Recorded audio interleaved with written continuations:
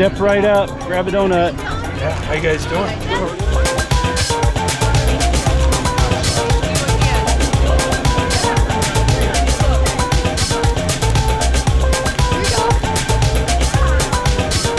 Cops know where the best donuts are always. How many times have you heard the old donut joke? Yeah, they cops and donuts. Oh, over 34 years, probably a couple thousand.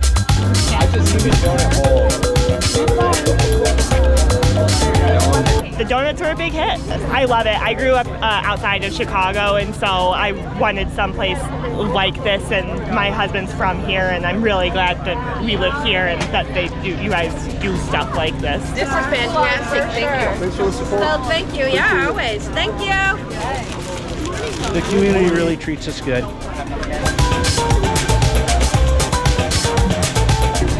Old fashioned. Thank you.